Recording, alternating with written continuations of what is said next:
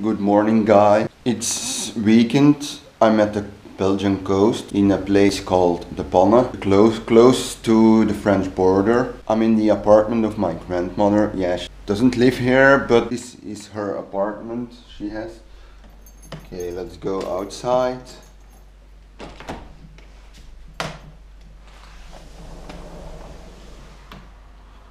This is the view you see from the balcony from the apartment.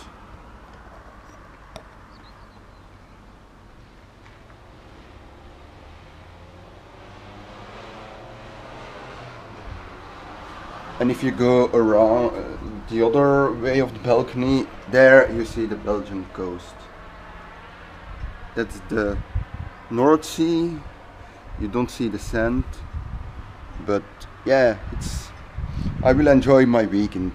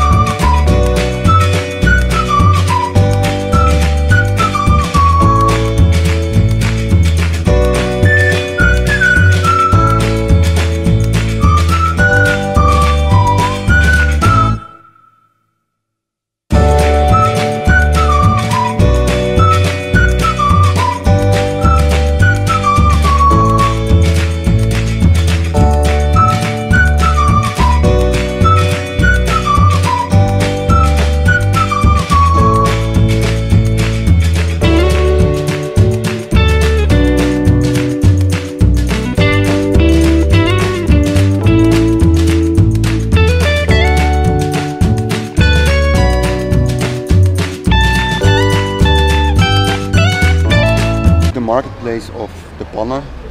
But today it's a Saturday and it's a weekly market.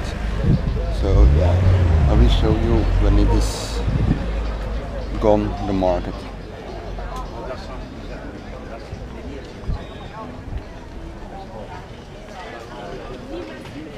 I'm on the deck, yeah, I don't really know the English word for it or if there is an English word for it.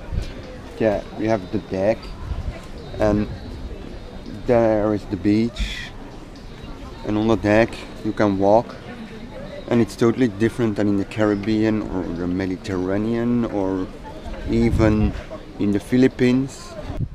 Now I'm on the beach and the beach is quite different than in other countries. And there is the North Sea.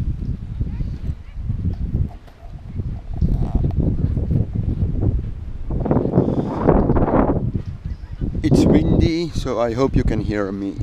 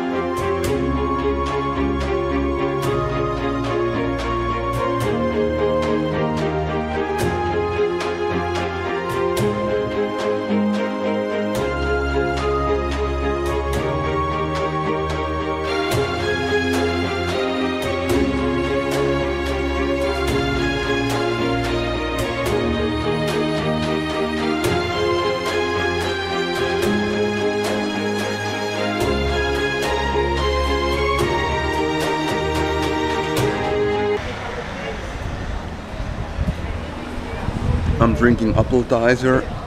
It's a sparkling apple juice and I really like it. This a statue of our first king, King Leopold I. And it's here he came on land. Here he came to Belgium. Yeah, I don't know the history about it, but it's written on that sign there. I've just been to the supermarket and now I'm waiting for the coast tram. You see the rails here. It's famous because We only have that in Belgium. No other country has a coast tram that goes from the one place to the coast to the other place of the coast. And today I read somewhere there are 67 stops. So it is going from the Panne station to Knokke station and from one side to the other side it takes two hours. But this this is famous for Belgium because it's the only country where they have it.